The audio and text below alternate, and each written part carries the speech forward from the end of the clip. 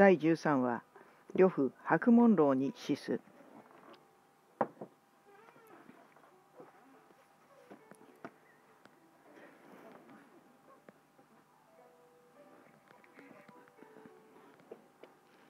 さても紀州の炎章は高孫さんを討ちたいから兵と食料を貸してくれと曹操に頼んできた。文面で読むと甚だ無礼である。曹操は気に食わず参謀を呼び協議した。閣下が言う。袁紹は多くの将兵を抱えているが恐るるに足りませぬ。むしろ恐るべきは両夫でありましょう。袁紹が北方の高孫山と戦っている隙にまず呂布を攻め落とししかる後袁紹を撃滅するのが上策でしょう。さらに順位が死者を勝敗の劉備のところに出し共に呂布に当たることを約束させたらと提案する。曹操は早速袁紹の使者に高孫さんを討つことに協力しようと申し出た。一方で劉備にも呂布を共に討つように手紙を書いた。使者は世を徹し勝敗に早馬を飛ばす。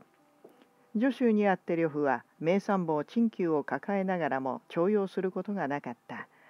ある夜も宴席で客人をもてなすうち陳家陳東の親子が歯の浮くような世辞を言い呂布もまたまんざらではない様子。陳旧はそれが気に入らない。宴の終わった後呂布に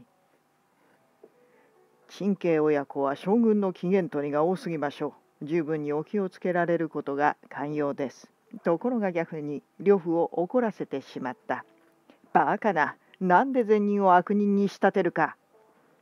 退出した陳旧は一声長くため息をついた。そしてじっと思いに沈んだ。曹操の騙し討ちを憎み呂布についたもの。それでよかったのであろうか。呂布は我が忠告を聞こうともせぬ。必ずや災いは国に及び玉石すべて一様に扱われる時が来る。しかし今助手を離れれば人に後ろ指を刺され刺されもしよう。思いは揺れて心は朝のごとくに乱れる。まんじりともせず一夜を明かした陳旧あくる日気晴らしに数人の側近を連れると勝敗に狩りに出かけた。すると街道を早馬で飛ばす伝令が見えた。怪しんだ陳旧すぐに部下を引き連れて追いかけた。行く手を遮った陳旧が尋問した。伝令は彼らが呂布の手勢と見ると手勢と知ると震え出した疑惑の色を深めた陳旧衣服を改めると果たして劉備が曹操に宛てた返書が出てきた。誰の使者か正直に申せ。陳旧は手紙を押収すると伝令を呂布のところに連行した怒りに震えた呂布即座に伝令の首をはねた劉備が兵馬を準備し呂布攻撃の手はずを整えてお待ちする という内容の返書であった。曹操の密使を切り捨てた呂布陳旧らに命じて泰山の三泰山の山賊と結ばせ三島の遠州に打って出た。また高順長領には勝敗の劉備を宗権義族には女男永泉の攻略を命じ自らは本隊を率いて三隊の要役とした。はい。ルカチいらっしゃいませ。チーはまだ使ってくれてたんですねハートが痛いどうしたんですか？何かあったんですか？はい、呂布はカミキリムシのようだ。どの辺がでしょう？カミキリムシって何でしたっけ、えー、置いといて、勝敗に呂布軍が攻めてくると聞いた劉備、早速軍議を開いた孫権が言う。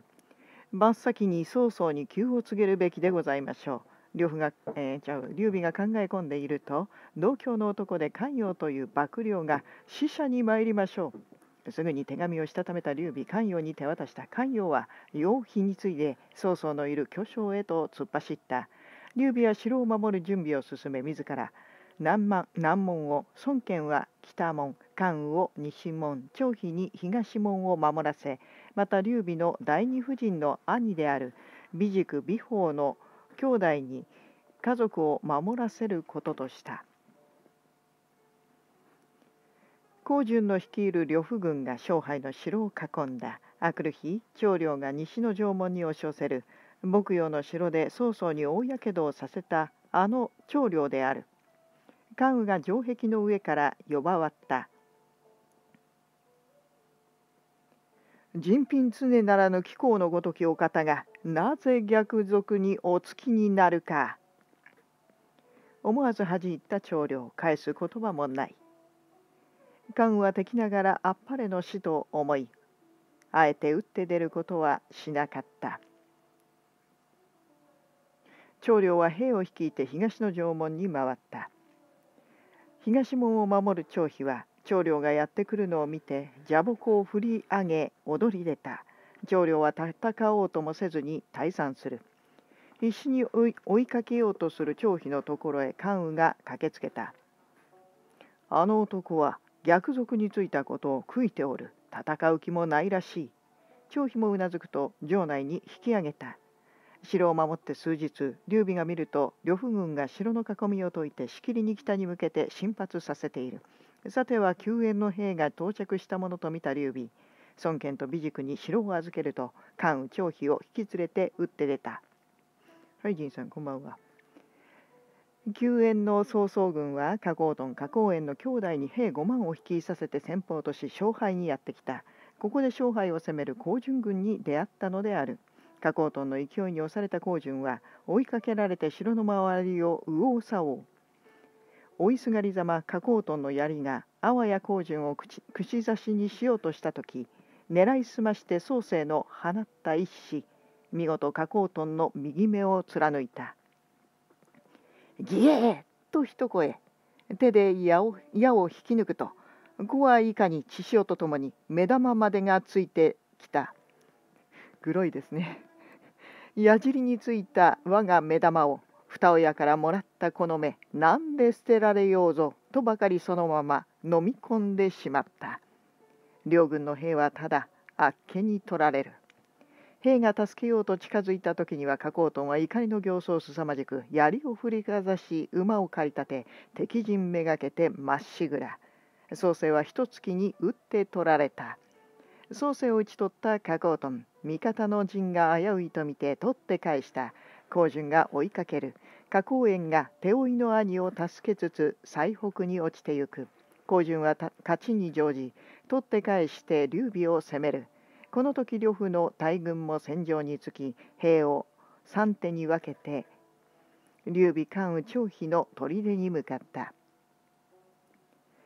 高順長領は関羽の砦を呂布自らは張飛の砦を襲った。関羽と張飛も陣を後に戦ったがかえって呂布の挟み撃ちに遭い山中に逃げ込むほかなかった。関羽張飛の砦が敗れたのを見て劉備一人では支えきれず勝敗場を目指して逃げてゆく。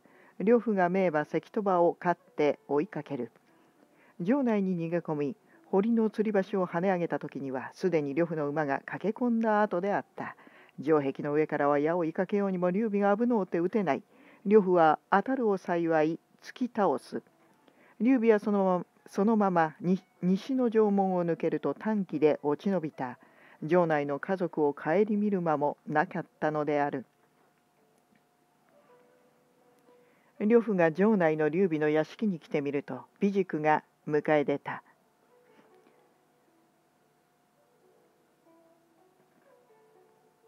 曹操の命にあらざれば何で貴公に歯向かいましょう。ふん、ご安心あれ。ご家族にご迷惑をおかけはし。もとい。ご安心あれ。ご家族に迷惑をおかけしはせぬ。ちょっとこのしわせぬみたいな感じで非常にこう言い回し方がちょっと、うん、独特ですね。呂布は劉備の家族を連れてこさせると美塾と共に助手城に送り高順長領に命じ勝敗城を守らせると自らは大軍を率い遠州へと向かう一方劉備は逃げに逃げてここまで来ればと一息つこうとした時突然矢のように追ってくる騎馬武者がある。よくよく見ると孫権である関羽と張飛はどうしているか城に残した家族は孫権の顔を見た途端思わず目頭が熱くなった。二人はともかく人も通わぬ感動を伝えながら曹操のいる巨匠へと向かった。それは二人が両城に到着した日であった。はるか彼方砂塵を巻き上げ旗をなびかせて進む大軍が見えた。まさしく。曹操の大軍と見た劉備すぐに孫権を連れて会いに行く。劉備が勝敗の城を失った事情を報告すると曹操は自分の軍中に2人を繰り入れ呂布を攻めることとした。呂布が遠州に攻め込んだと聞いた曹操。宋人に3,000の兵を与え勝敗の討伐を命じ自ら大軍を率いて遠州に向かった。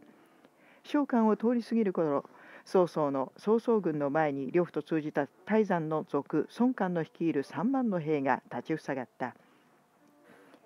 巨著が迎え撃とうとすると孫権ら4人が飛び出して巨著の周りを取り囲む。巨著が暴れ回る。4人が逃げ出すと曹操軍がどっとばかりに襲いかかった。この時召喚を守っていたのは陳旧で両夫はすでに助手に戻っていた。曹操軍の宗人が兵を率いて勝敗を攻めてくるというので呂布が陳慶陳東親子を呼んだ。そして陳慶には助手を守らせ自分は陳東と共に勝敗に救援に赴くこととした。陳慶親子は家に戻ると密談を凝らした。もともと親子は曹操の放った密偵で木を見て呂布を生け取らんものと狙っていたのである。陳東が言う父上は美塾殿と城を守り呂布が負けて逃げ逃げ込もうとしても城に入れてはなりませぬぞ。陳慶がしかしここには呂布の妻子もいれば腹心の部下もおるしというと陳東はしばらく考えていたがそうだとばかりに再び呂布に面会を申し入れた。呂布がまさに出陣しようとしている矢先であった慌ただしく入ってきた陳東を見て何事をならんと聞き耳を立てた。主公の根拠地徐州の周辺は敵だらけ。敗れた時の準備をせねばなりますまい。陳東はおそらく両夫が家族のことを気遣うであろうと考えたが果たして妻子を東の可否に移そうということになった。宗権と義族などの腹心の2章に兵をつけ金銀食料とともに送り出したのであった。呂布が勝敗勝敗に救援に行こうとすると折から曹操軍が召喚に殺到したという知らせが入った。呂布がそれでは召喚を救いにと考えた時陳東がまず曹操の軍情を探りませぬとと道半ばに分かれていった。陳東は一人馬を進めると漢を守る陳旧を訪ねた。将軍にはお主が出陣せぬのを怪しみ罰を与えようとなされておりまするぞ。陳旧が曹操の大軍は侮れぬ。どうか将軍にお願いして勝敗の城を守るよう。そして助手助手城と呼応して敵に当たるのが上策と陳東に進めた。陳東はなるほど一見識であると褒めそやし何度もうなずくのであった。夜に入ると陳東は艦に上りはるか下の曹操の陣営を見下ろして密かに三通のやぶみをい込んだ。手紙には感情 感情に火の手が上がったらすぐに召喚を攻めよとある。あくる日陳東は艦を下り馬を飛ばして呂布のところに戻った。そして慌てふためいた様子で「召喚では曹操の大軍に恐れをなしすべて降伏の気配でございます」「陳旧殿一人では支えきれず将軍の救援をお待ち申しておりまする。卓を叩いて怒った呂布、陳東に再び召喚に上るよう命じ、今夜火の手を合図に曹操軍を挟み撃ちにすると陳旧に伝えさせた。陳東は陳旧に会うと、助手が危うくなった。呂布の軍はすでに引き返したから陳旧らの諸将もすぐに助手に戻られたい。図られたとは知らぬ陳旧すぐにも兵を引く準備を始めた。その夜陳旧は召喚を捨てて兵を引いた。陳東は密かに召喚の上に上がると合図の火を焚いた。感情の火の手を見た呂布、今ぞ、とばかり突っ込んだ。兄はからんにゃ、関外に出てきたのは味方陳旧の兵とも知らずに。一方の曹操も火の手を見上げ、兵を率いて襲いかかる。呂布と陳旧の兵は同士討ちの果てに曹操軍に曹操軍に追われ、その大半を失ってしまった。核のごとくして戦いは夜明けまで続いた。呂布と陳旧は初めて図られたことに気がついた。慌てて突破口を開いた呂布、陳旧と共に助手さして帰ってゆく。助手城についてみると城門は閉ざされ人の姿もない呂布が大声に呼びかけると突然美軸が姿を現した。貴様が我が思考から奪った城たった今我らに返してもらったぞ。これはただごとならずと縄文に飛び込もうとすると突然城内から矢の雨が浴びせられた。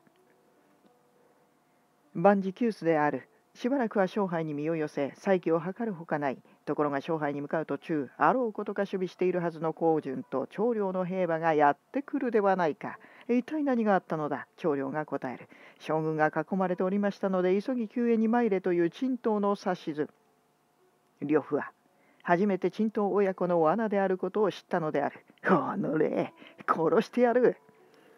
呂布は陳旧高順長領を引き連れ勝敗に戻ってきた。ところが城には曹操軍の旗が返本と翻っているではないか。陳東は高順が城を出るとすぐに宗順を引き入れ、いとも簡単に勝敗を手にしたのであった。怒り浸透に発した呂布。陳東を罵る。陳東もまた城壁の上からやり返す。両夫が城を攻めようと構えた時後ろから一体の兵馬が殺到してきた先頭を突っ走る武者はこれぞまさしく超飛である両夫が身を立て直そう立て直そうとした時またまた歓声が沸き起こり曹操自ら率いる大軍が襲いかかる。かなわぬと見た呂布東に向かって逃げ出した。今や呂布の息が切れた。そこへまた一体が現れた。呂布よ逃げるな。関羽運長これにあり。この時また張飛も追い上げてきた。両夫は陳旧と共に必死で突破口を求め妻子の待つ可否へと落ちていったのである。関羽と張飛も追いきれなかった。2人はすぐに劉備のところに駆けつけた。一別以来のあれやこれやに話の花が咲いた。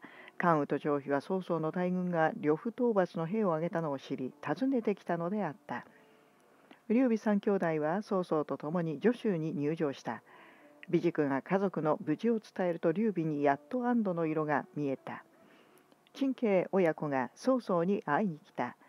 曹操は盛大な宴会を開いて諸将の労をねぎらい陳東陳慶親子にはその功を称して禄を与えた。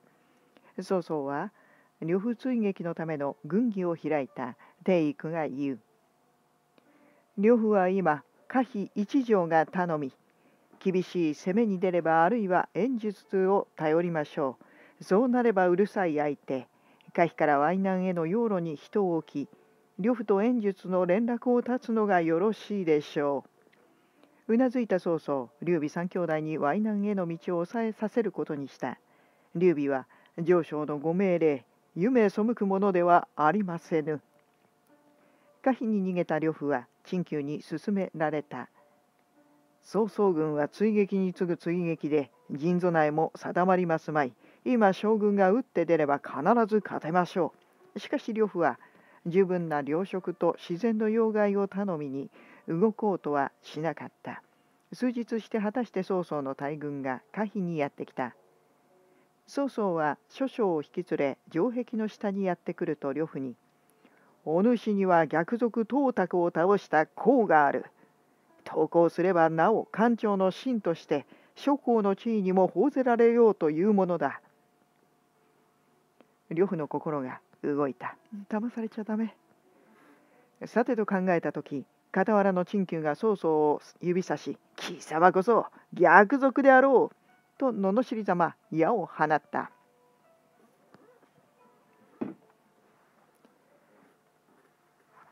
呂布の答えを待っていた曹操そこへ飛んできた矢が曹操の絹笠に当たったから怒った貴様生かしてはおかぬ陳旧が言う将軍は場外に兵を率いてでそれがしは城を守りましょう。曹操が将軍を攻めればそれがし後ろから打って出てまた城を攻めれば将軍が後ろに回る。10日もせぬうちに曹操軍の領職はつきましょう。そこで打ち破れば呂布がうなずいた。衣笠は鉄人。ありがとうございます。私も思いました。折しもいてつく玄関の季節呂布が出陣の用意に冬物の支度をさせた妻源氏が「どちらへお出まし?」と問うそこで陳旧の計略について話した聞くと源氏は涙を浮かべ将軍お一人でおでお出かけになる。万に一つも何かがあれば、私どもどうしたらよろしいのでしょう？呂布の顔に困惑の色が広がった。呂布は思い悩んだ。イライラして部屋を歩き回った。城を出れば妻子を放り出すことになる。しかし、出なければ城を囲まれて身動きにならない。とそういつ考えるうちに3日が過ぎた。なお意を消しかねている呂布に陳旧が、曹操軍は四方から城を囲んでおります。早く出陣されねばいよいよ苦しゅうなりましょう。呂布が、わしは城の守備を固めた方が良いと思うのだが、陳旧が焦った。教将からは間もなく領職の補給に来るはず。将軍が領土を立つのに絶好の機会ではございませぬか。呂布が、うん、お主の言う通りとは思うが、なお妻とも測ってみよう。呂布は今一度原始に陳旧の計略について話してみたが妻は陳旧がいつまでも城いつまで城を守ってくれましょうか間違いがあった後で後悔しても始まりませぬ突っ伏すと泣き出した呂布がうろたえて今度は妾朝鮮の部屋に入っていく朝鮮もどうか私のためにも城をお出になりませぬよ心配するなわしに矛と石と場のある限り安心ぞ。呂布が陳旧に言う。曹操には人を欺く計略が多い。領職が運ばれてくるというのも計略に違いあるまい。陳旧はなおも出陣を進めたが呂布が奥に入っていってしまった。かたくなに城を出ようとせぬ呂布は妻や妾を相手にうさばらしの酒にふけるのであった。このありさまに天を仰いだ陳旧。我らの屍は野ざらしにされよう。参謀の巨子と王海が呂布に会いに来た。将軍と演術はかつて縁組の約束を交わされたはず。なぜ演術に救援を求めますぬ。演術が兵を出せば内外で挟み撃ちができましょうに、いかに曹操といえども手出しはできぬはず。呂布が早速救援を求める密書を演術に書き2人に託した。そして長領確保の領将に一千の兵をつけ山あいまで遅らせることにしたその夜も更けて巨子と王海を中に前に長領後ろに確保が続いて密かに城を出た確保はそのまま500の兵を率いて樹春に向かい長領は残り500を率いて可否の城に戻った巨子と王海は樹春に着くと演術に密書を差し出しただが演術は冷ややかにお前の主人は以前には縁組の話を承知しながら我が死者を殺し、それが今日はわしに救援を頼みに来る。どういうことかの巨子がしきりに弁解する。すべては曹操の計略でございます。お察しくだされ。しかし可否が落ちれば、樹種も平穏ではありませぬぞ。しばらく考えていた演術。呂布殿は信用ならぬ。まず娘を送ってまいれ。さすれば援軍を差し向けようて。巨子と王海は確保とともに可否に戻ることとした。この日、日も沈んだ頃、劉備の陣営の近くに差し掛かった。巨子王海の2人は無事通り過ぎたが、確保が張飛に見つかってしまった。高手小手に縛られた確保が劉備の前に引きずり出された劉備はまた曹操の本陣に護送した各方は援軍を求めて縁談を蒸し返したいきさつを語ったので曹操は大いに怒り首をはねさせた同時に各陣営に符令して呂布の陣を厳重に監視するようまた見逃した者は軍律によって処罰すると申し渡した。劉備が陣に帰って関羽と張飛にこの旨を伝えると張飛が不服を言い出した。劉備は重ねて軍令がなくて何で人を律することができようぞ。これには張飛も黙ってしまった。賊軍を捕らえたのに何の恩賞にも預かれぬとはな御子と王海は可否城に戻ると呂布に五足城を差し出せば援軍を送ろうという演術の返答を伝えた曹操も各方から聞いたであろう。どうしたら娘を送れよう。はい。将軍自ら突破するほかありますまい。あくる日の夜、娘に錦の衣装を着せ、さらに鎧をかぶせると、呂布が背負って敵陣を突破する構え。妻の原始や朝鮮も悲壮な嫁入り姿に涙を流す。呂布は矛を小脇に娘を背負い長領高順に三千の平和を引きさせ城から打って出た。劉備の陣に差し掛かった時人子の音とともに関羽張飛が立ちふさがった止まれい呂布に戦う気はない。一山に手薄なところを突き抜けようとする。この時劉備の一帯も襲いかかってきた。呂布は背中の娘が気にかかって戦うどころではない。後ろから女皇や巨長も追ってくる。口々に「呂布を逃すな!」と叫んでいる。呂布は城に逃げ込むほかなかった。城内に戻ってからの呂布はただただ酒に明け暮れ塞ぎ込んでいた。可否城を囲んで二月が経った。なお城は落ちない。曹操の心に焦りが走った。一旦巨所に引き上げようかと考えたが参謀の準優が反対した。呂布に戦意なく攻め立てれば必ず呂布を生け取れましょう。参謀閣下が汽水止水の二河を切って水攻めにすれば可否の城など立ちどころに落ちましょう。曹操が満足げにうなずく。曹操軍は高みに陣を移し汽水止水の包みが切って落とされた。水は本場のごとく城を襲い可否の城を浸した。東の城門を残して全ては水浸しとなった。兵が呂布に急ぎ報告したが呂布は驚いた様子もなく酒を含みながらわしの関戸場は水の中でも平地同様に走る。恐れることはない。日ごと夜ごと原始や朝鮮と叫びたりの両夫戦のことなど頭にはない様子。ついには頬もこけて見る影もない。ある日鏡を覗いて愕然とした。これはいかぬ。今日からは酒を断とう。決心をした呂布城内の者すべてに酒を禁じ犯した者は処刑すると不令を出した。こうした時後世の馬屋から15頭の馬が盗み出され敵に降伏しようとした者がいた。すぐに気づかれて捕らえられたが諸将が祝いの宴を開こうとして呂布にも酒を献じようとした。美酒をお持ちいたしました。まずお試しくだされ。聞くと呂布後世を指さし退活した。わしが酒を禁じたというに貴様勝手に酒を作るとはわしに謀反を起こすのか。呂布は即座に後世の首を切れと命じた。宗権や貴族らがこぞって止めたので後世は五十の棒叩きに処された。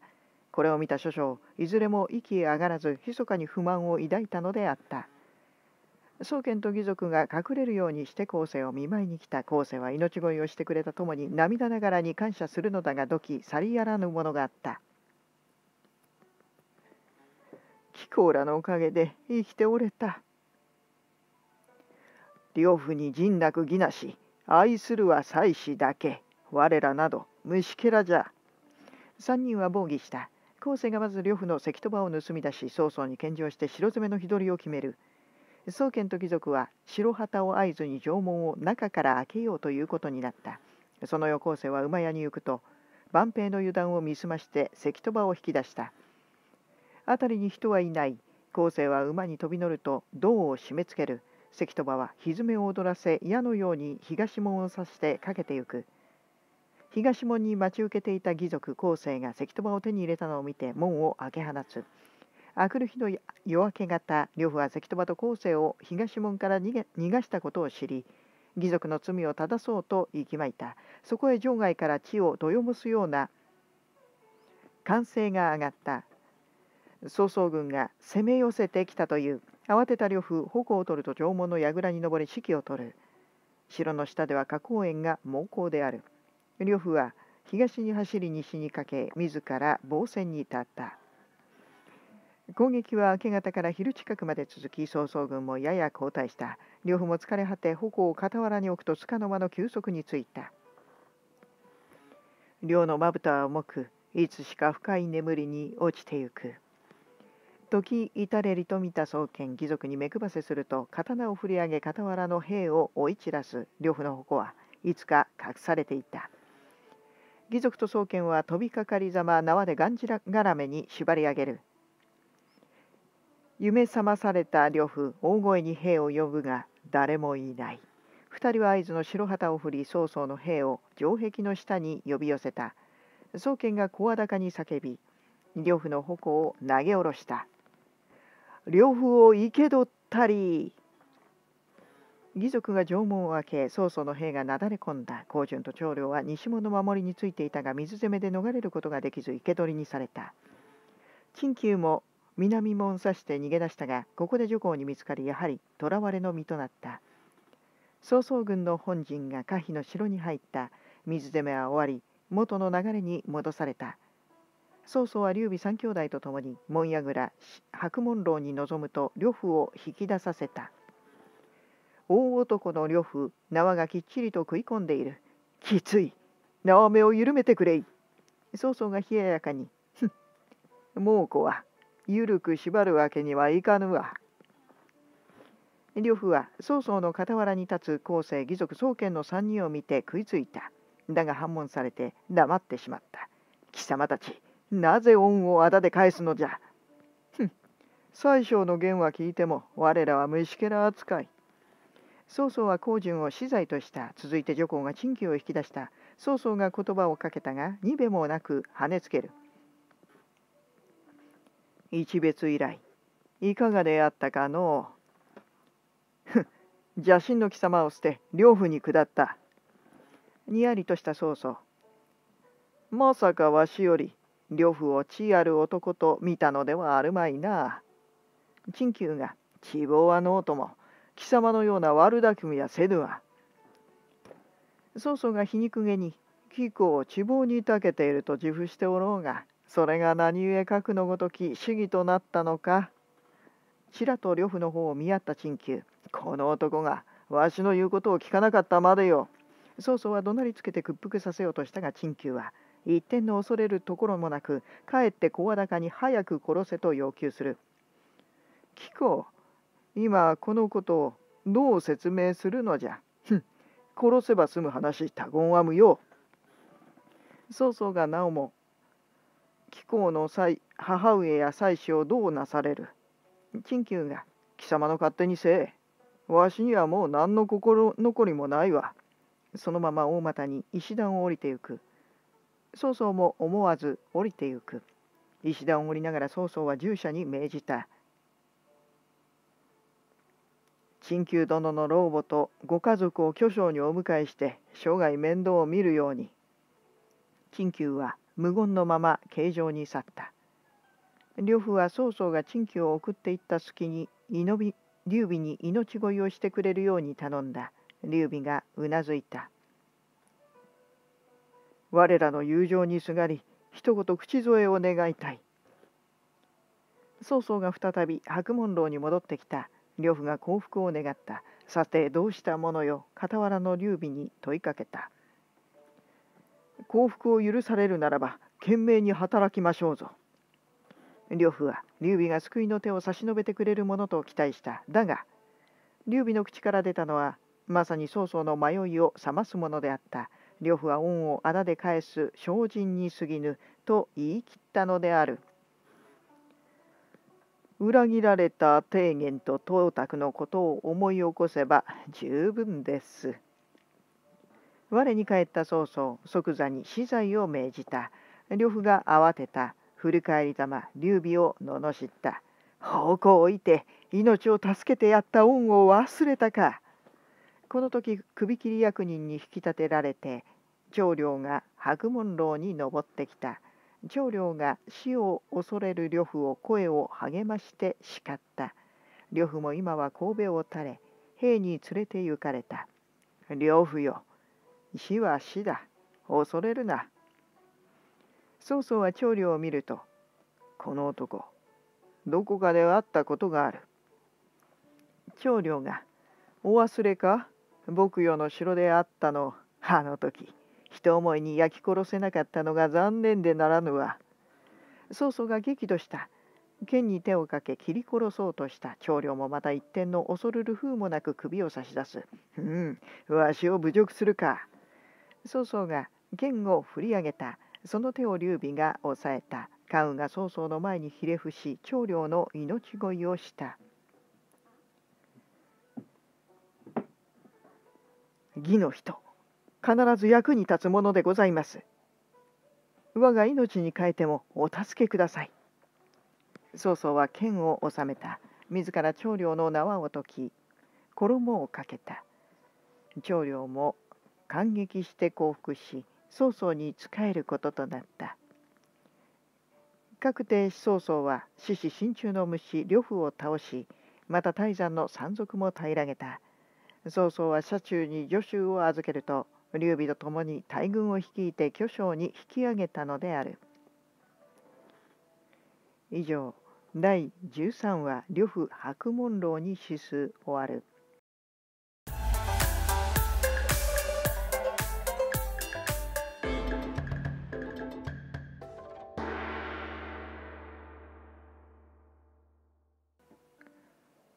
えー、とまず受春ですね。今演術がいるのは受春っていうところなんですけど受春はですねここですね淮南ここ。ここが受春。で肺がここですね。肺小肺があって、えー、がここです。それから、えー、とあとはん何が出てきましたっけ？あともう一つぐらい。助手ですね、まあ、ここが助手で助手城があって、まあ、可否は小さな小さなっていうかまあ